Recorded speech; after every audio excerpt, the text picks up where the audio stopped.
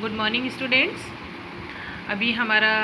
ये हिस्ट्री का जो आपका चल रहा है, इतिहास से संबंधित जो चैप्टर्स चल रहे हैं हमारे, उन्हीं में आगे विभिन्न तरीके के आपने अभी आंदोलनों के बारे में पढ़ रहे थे। इसी श्रृंखला में एक और आंदोलन के बारे में आज हम बात करेंगे, खिलाफत आंदोलन, जो 1919 में हुआ था। और इस खिलाफत आंदोलन के पीछे एक तरीके से हम कह सकते हैं कि ये एक ऐसा आंदोलन था, जो पूरी तरीके से मुस्लिम्स धर्म सुधारकों द्वारा चलाया गया था। इसके बारे में थोड़ा सा हम देखते हैं कि क्या है ये आपका खिलाफत आंदोलन। तो खिलाफत आंदोलन 1919 ईस्वी में किया गया था और ये एक ऐसा आंदोलन था जिसमें महात्मा गांधी ने हिंदुओं से आह्वान किया था कि वो मुसलमानों का साथ दें। क्यों? क्योंकि उससे पहले कई सारी ऐसी घटनाएँ हो गई थी जिसकी वजह से जो हिंदू और मुसलमान जो दोनों ही अंग्रेज़ों के ख़िलाफ़ हो गए थे। क्योंकि अंग्रेज़ों जो द्वितीय विश्व युद्ध जब हुआ था, उसके बाद जो भारतीय जनता थी, उसको ऐसा विश्वास था या भारतीय नेताओं को ऐसा लग रहा था कि अंग्रेज़ सरकार जो है, वो कुछ भारतीयों के लिए कुछ नए सुधार करेगी या नए तरीके की किसी कानून का पालन करेगी। लेकिन हुआ उसका उल्टा और अंग्रेज़ों ने और भी ज़्यादा स्ट्रिक्ट होकर के या और भी ज़्यादा अपना कड़ा रुख अपनाते हुए कुछ दमनकारी नीतियों को अपनाया। जिसकी वजह से हिंदू और मुसलमान दोनों ही तरह के नेताओं में या दोनों तरह की जो जनता थी, उसमें अंग्रेज़ों के विरुद्ध पूरी तरीके से एक आक्रोश की स्थिति उत्पन्न हो गई थी और उसी का परिणाम था ये खुलाफत आंदोलन। जब महात्मा गांधी ने हिंदुओं को ये आह्वान दिया कि वो मुसलमानों का साथ दें तो 1919 में डॉक्टर अंसारी के नेतृत्व में एक शिष्टमंडल, यानी कुछ लोगों का एक समूह, बायसराय से मिलने के लिए गया। लेकिन उसका कोई परिणाम नहीं निकला क्योंकि बायसराय ने डॉक्टर अंसारी के नेतृत्व में गए हुए शिष्टमंडल की बात पर कोई ध्यान नहीं दिया और ये बात पूरी तरीके से किसी बिना परिणाम के ही समाप्त हो गई। लेकिन कांग्रेस का जो 1920 में जो नागपुर अधिवेशन हुआ था, उसमें विजय राघवचारी की अध्यक्षता में स्वराज्य के साथ साथ खिलाफत आंदोलन का खिलाफत का प्रश्न भी जोड़ दिया गया और इस तरीके से इस खिलाफत आंदोलन को जो अंग्रेज़ों के विरुद्ध एक आक्रोश के रूप में, एक विरोध के रूप में इसकी शुरुआत हुई थी, उसे पूरी तरीके से जो बल था वो मिला था राघवचारी की अध्यक्षता में। स्वराज्य जो उन्होंने अपना एक आंदोलन चलाने की बात कही थी, उसी के साथ साथ साथ इसमें खिलाफत का प्रश्न भी जोड़ दिया गया और इस तरीके से खिलाफत आंदोलन भी एक आंदोलन के रूप में अंग्रेज़ों के सामने विरोध स्वरूप प्रकट हो गया। अभी हम बात कर रहे थे खिलाफत आंदोलन की शुरुआत कैसे हुई थी। अब हम बात करते हैं कि खिलाफत आंदोलन के कारण क्या थे। क्यों ये खिलाफत आंदोलन शुरू किया गया था? तो जैसा देख रहे हैं आप कि भारतीय मुसलमान तुर्की के प्रति होने वाले व्यवहार से क्षुब्ध थे। अभी मैंने आपसे बताया कि जो जो द्वितीय विश्व युद्ध हुआ था, उसके बाद जो तुर्की के जो मुसलमान थे, उनके साथ अंग्रेज़ों का जो व्यवहार था, वो बहुत ज़्यादा ख़राब था और पूरा का पूरा तुर्की उनके उस ख़राब व्यवहार से त्रस्त हो चुका था क्योंकि जो प्रथम विश्व युद्ध के बाद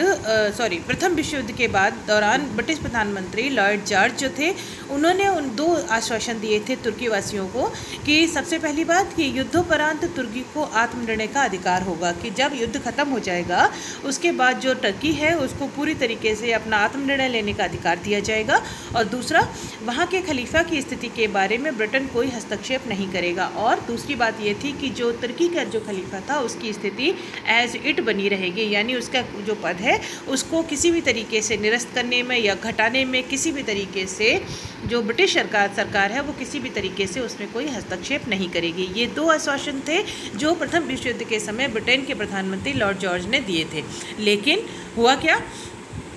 कि युद्ध समाप्त होने के बाद ब्रिटिश सरकार जो थी वो अपने इन दोनों आश्वासनों से मुकर गई और फलस्वरूप जो तुर्की की जो हालत थी वो ऐसी हो गई कि वो अंग्रेज़ों के खिलाफ अपने आप को बहुत ही असहाय महसूस करने लगे। भारतीय मुसलमानों को तुर्की के प्रति होने वाले अंग्रेज़ों का ये जो व्यवहार था वो बिल्कुल भी पसंद नहीं आया और वो इतना ज़्यादा उस बात को लेकर के क्षुब्ध थे कि पूरी तरीके से वो अंग्रेज़ी शासन के खिलाफ हो गए। तो ये थे कुछ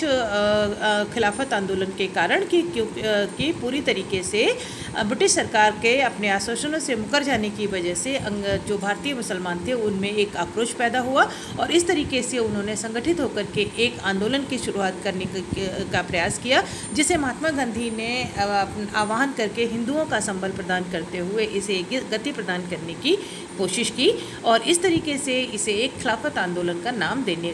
दिया गया। तो ये थे कुछ कारण जो खिलाफत आंदोलन जिसकी वजह से हुआ था। अब हम बात करते हैं कि इस आंदोलन के प्रभाव क्या हुए थे या इसका क्या प्रभाव पड़ा था। तो खिलाफत आंदोलन जो कि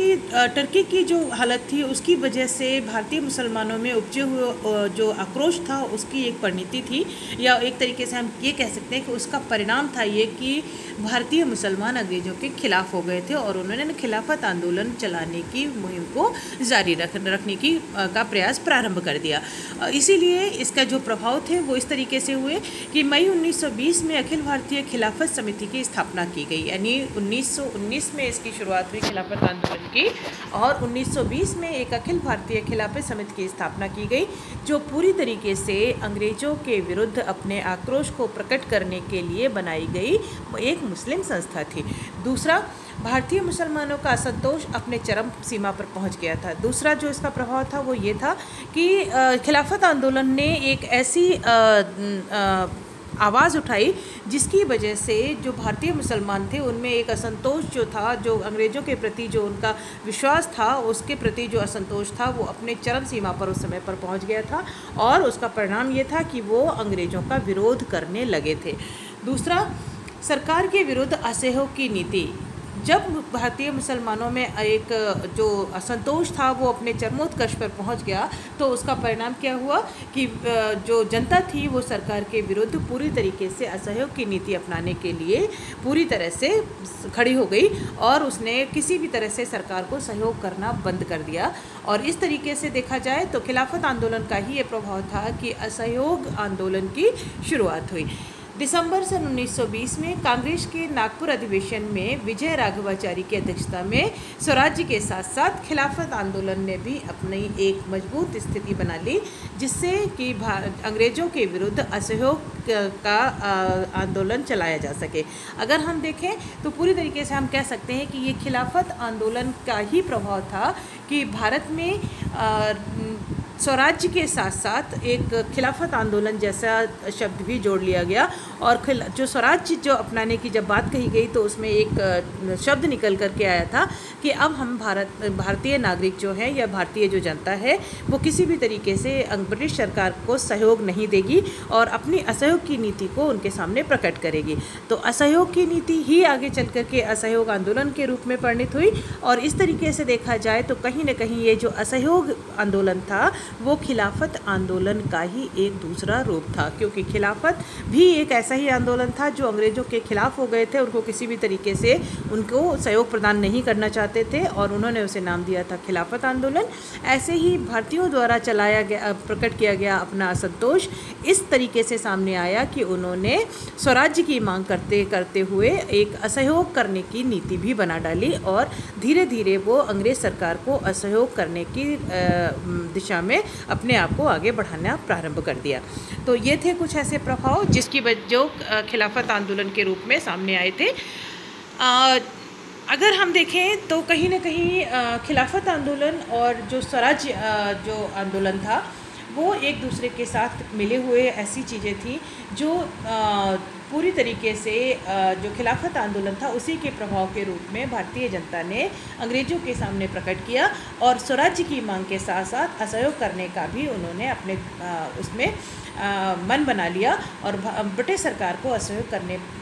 के लिए उन्होंने अपनी शुरुआत कर दी असहयोग आंदोलन के रूप में। तो अब जो नेक्स्ट हम दूसरी क्लास में जो हम बात करेंगे, वो इसी से संबंधित एक और आंदोलन है, जो